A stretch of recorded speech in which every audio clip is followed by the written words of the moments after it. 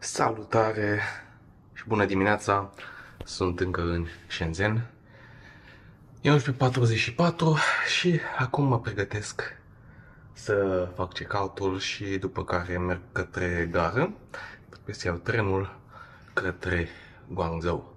Dar acum suntem de pe noua cameră, am reușit să o configurez. Calitatea s-ar putea să fie un pic mai slabă, dar sper să fie destul de ok. În schimb, o să vă arăt imediat că practic este mult, mult mai puțin uh, vizibilă camera și mai puțin intruzivă, să zic așa. Haideți să vă arăt acum în oglindă. Deci, ea arată așa, deci este practic ca un GoPro și putem să îi dăm și ecranul așa, dar partea cea mai faină este că partea asta se scoate de aici. Să o scot acum.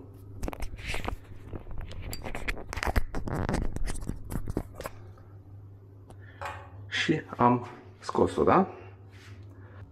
Și acum că am scos-o, ea devine atât de mică.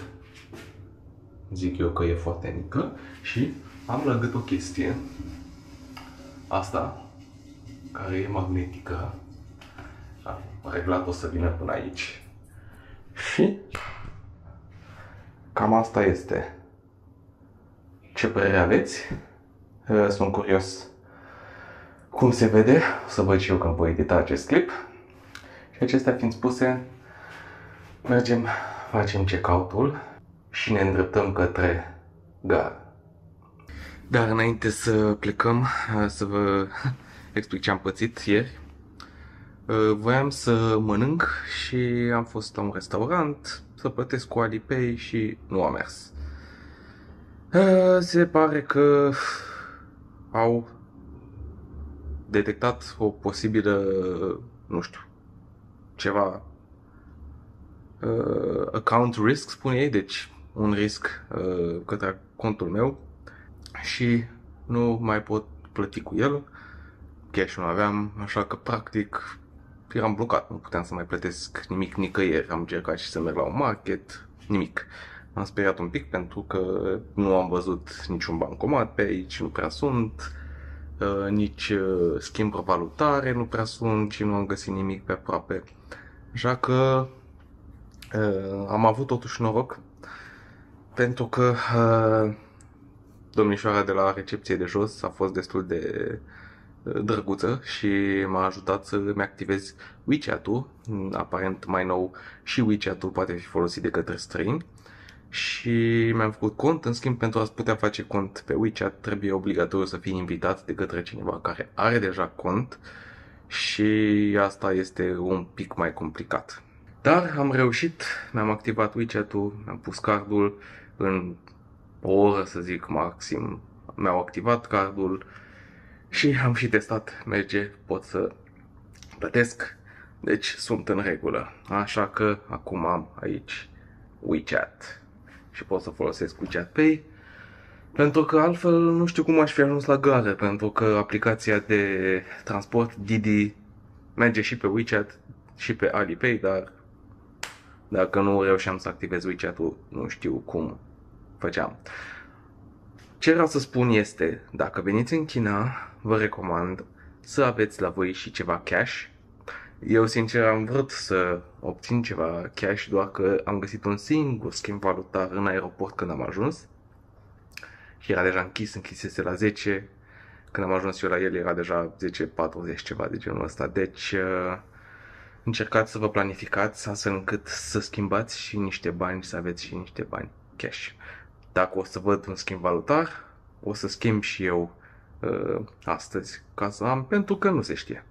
Așa că țineți minte și eu acum merg să fac check-out-ul și plec către gară. Și am ajuns și la gară. Uitați mă arată.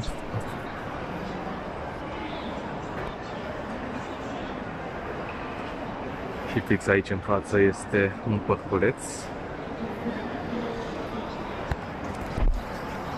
drumul destul de lung, cred că am făcut, ia să mă uit cât am făcut, cam jumătate de oră Dar uh, foarte, foarte fain drumul, foarte multă verdeață pe drum, sincer, chiar seamănă cu Silicon Valley, pentru că și acolo sunt tot așa multe străzi, multe verdeață, pare totul foarte liniștit, doar că aici cred că este mai dezvoltat, foarte multe blocuri pe drum, foarte multă infrastructură de transport în comun, foarte, foarte interesant. Acum haideți să vedem, mai avem cam două ore până la uh, tren, dar să analizez un pic situația, să văd de unde trebuie să iau trenul și așa mai departe.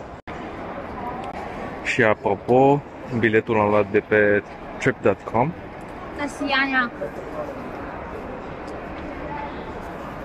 Practic aici la My Trips, ăsta este biletul.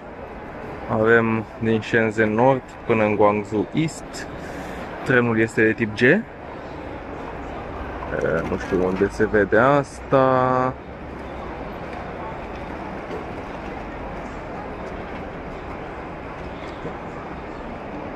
Da, așa aici. Trenul este G6558, care vine din Hong Kong, cred. Și astea de tip G sunt cele mai rapide, care ajung la cam 330 ceva de km la oră. Am la clasa 1. Uh, business nu mai era, dar acum era mult mai scumpe. Și biletul este electronic. Am încercat și să iau prin uh, aplicația lor direct, doar că uh, nu am reușit pentru că trebuie număr de China și nu am. Dar de aici, plata cu cardul, îți vine aproape instant, electronic, e perfect. Am intrat, e securitate ca la aeroport, treci toate bagajele pe acolo, te scanează, îți verifică pașaportul și wow, deci gara asta este imensă.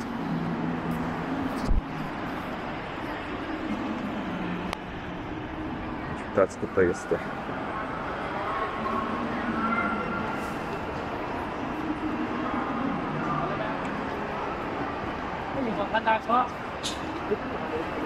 Și acum este ora 12.45. Mai am două ore până plec.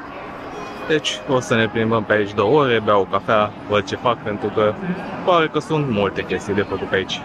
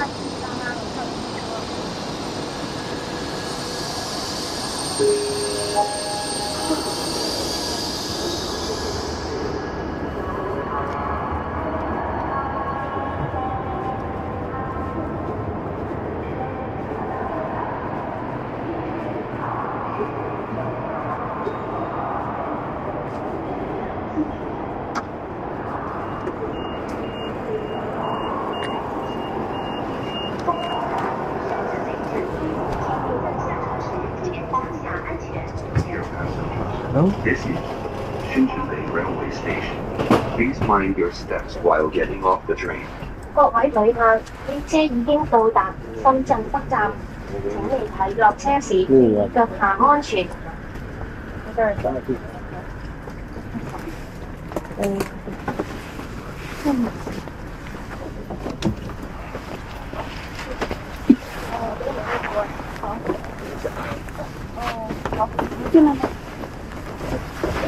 啊，关了。你又关？不要关。嗯。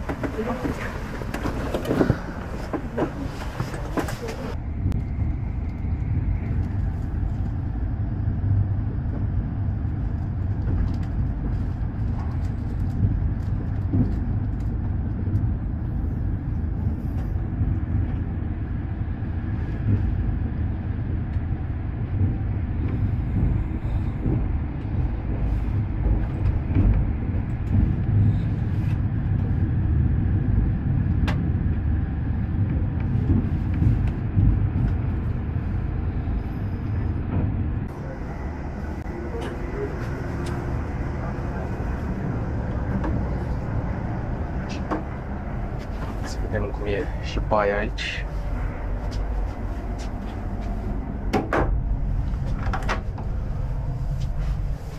Nu e rău. Destul de curat, pe total, aș zice.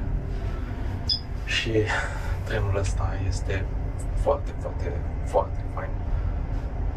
Mm, Teoretic ar trebui să meargă cu 300 de km la oră maxim, până acum l-am văzut cu 247, dar nu, aproape că nu simți când merge. E așa de stabil și de lin mersul.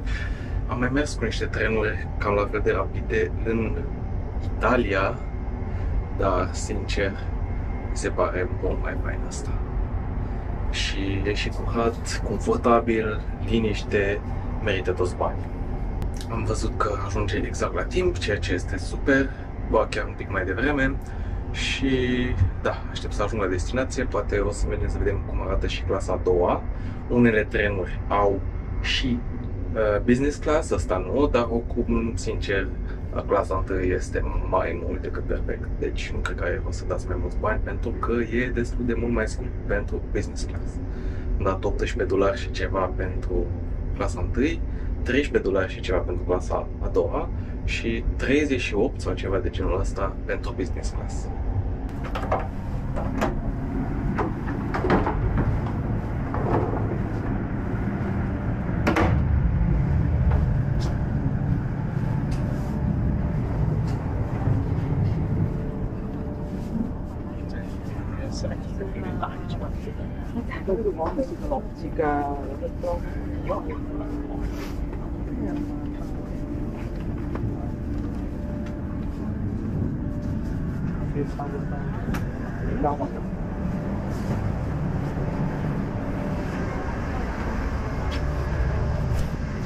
Și cam așa este și la clasa a doua.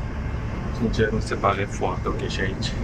Dacă cumva nu mai sunt disponibile bilete, pentru că am văzut că business class și clasa 1 se dau prime, puteți mergeți la clasa a doua fără probleme.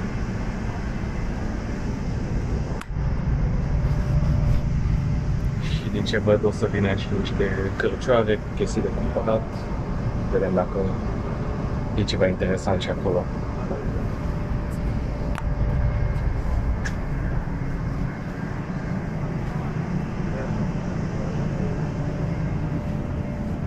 Các bạn cũng tăng tái chỗ là đó sao người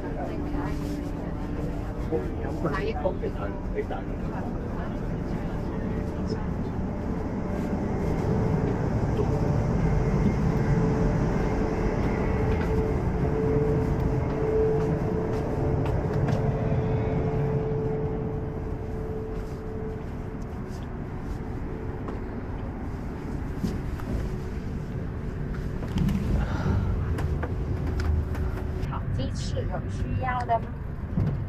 可以看一下 How much water?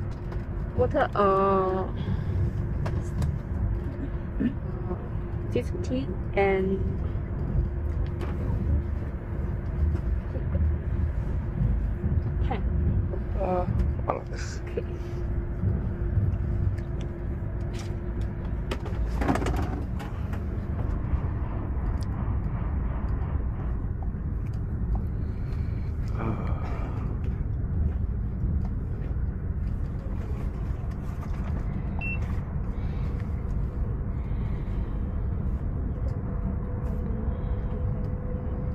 是谁问。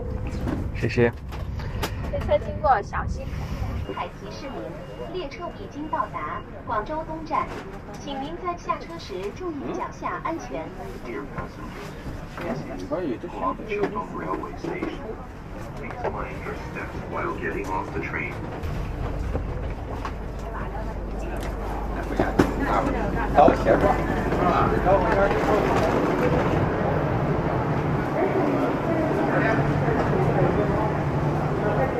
Train.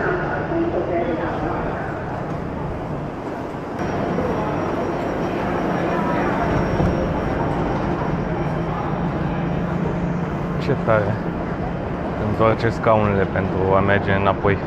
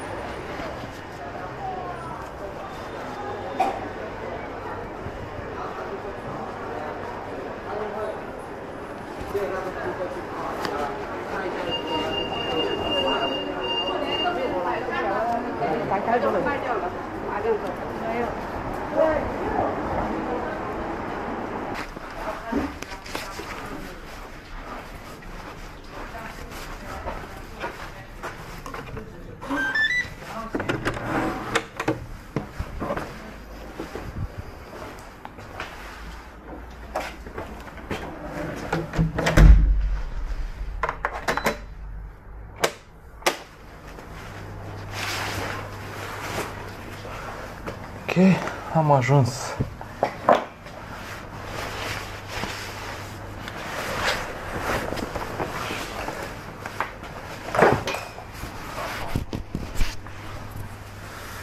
În sfârșit, mă lăsase unde trebuie taxiul, dar uh, Google Maps spunea că trebuie în altă parte, Apple Maps nu găsea deloc locul, și am zis, hai să merg după Google Maps. M-am dus, nu era acolo, a trebuit să mă întorc pentru că era fix uh, unde mă lăsase taxiul. Și mi-am dat seama după pozele de pe Agoda, pentru că de acolo am rezervat. Dar nu mai puțin să mă așez și eu și vă povestesc.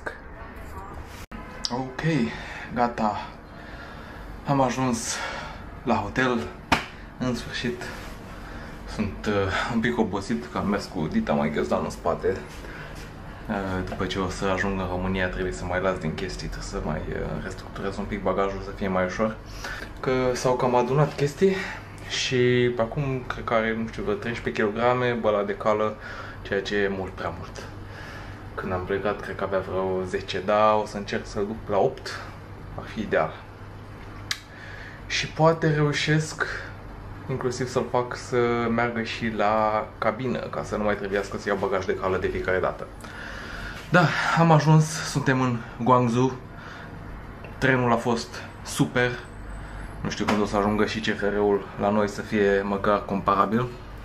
Apropo de asta, se pare că în 2022 sau 2023, nu cred că în 2022, China era țara cu de departe cei mai mulți kilometri de cale ferată de mare viteză dar nu doar asta. În total, China are mai mulți kilometri de cale ferată de mare viteză decât tot restul lumii la un loc.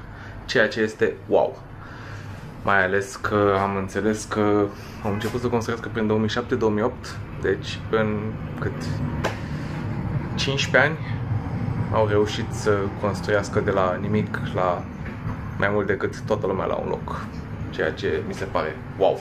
Sunt curios cum sunt și trenurile alea maglev. Am înțeles că au, de exemplu, în Shanghai, de la aeroport până în oraș, 400 și ceva de kilometri, faci 30 ceva de kilometri în 7 minute, ceea ce e wow.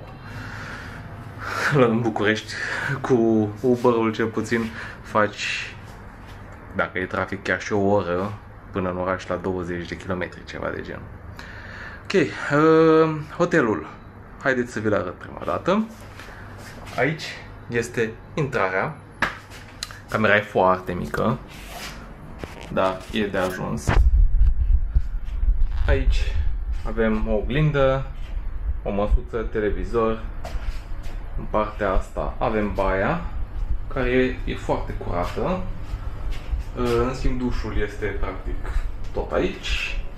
Avem uh, inclusiv aici papuci și mi-am pus și eu în picioare. Și aici patul. O masă pe care poți lucra sau mă știu eu. Și cam asta este ceea ce se vede pe geam.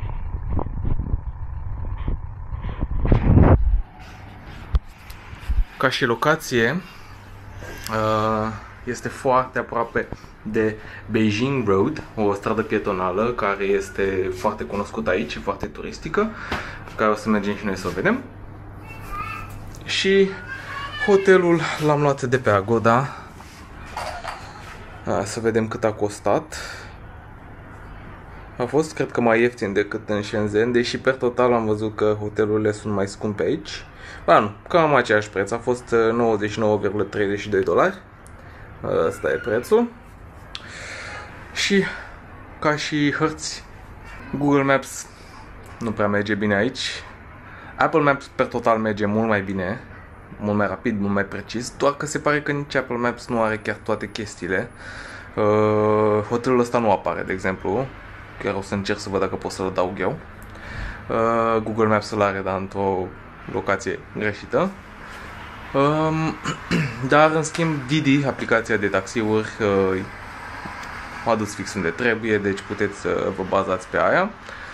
Iar hărțile care teoretic ar merge cel mai bine aici, Baidu și nu mai știu care, din ce am văzut eu nu le găsește în App Store-ul de România. Deci ne descurcăm cum putem. Ce contează este că am ajuns, mai avem două nopți aici, abia aștept să explorez Guangzhou. O să închid aici acest vlog. Eu vă mulțumesc că vă uitați la mine.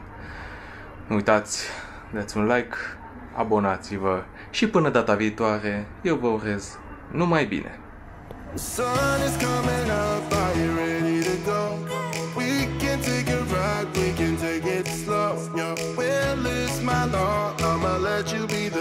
Cause I'll go